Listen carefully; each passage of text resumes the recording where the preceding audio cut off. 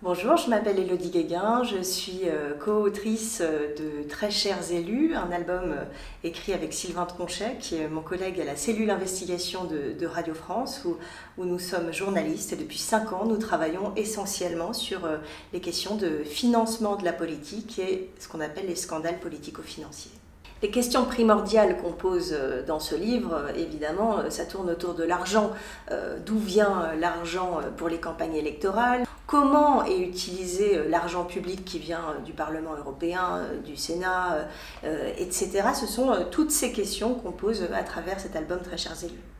Ce qu'on voit principalement euh, depuis 40 ans, c'est qu'un scandale en chasse un autre, qu'on nous dit à chaque fois euh, plus jamais ça. Donc qu'est-ce qu'on a fait depuis 40 ans? On a voté des lois et on a voté une succession de lois.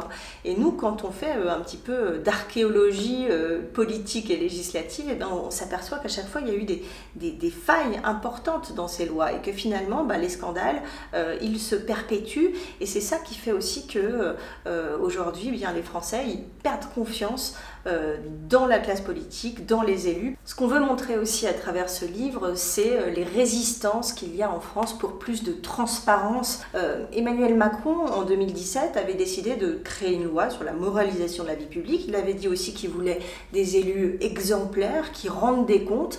Or, en cinq ans, finalement, c'est un débat qui a complètement disparu. Et même lors de la dernière présidentielle, euh, des débats, la question de la probité n'a jamais été centrale. Très chers élus, et la, somme des enquêtes que nous avons euh, réalisées avec euh, Sylvain Tronchet, et ce qu'on a souhaité aussi à travers cet album, c'est montrer euh, l'envers du décor, les difficultés qu'on a eues à, enquêter, les, résistances, et ça on le voit au fur et à mesure des chapitres de l'album.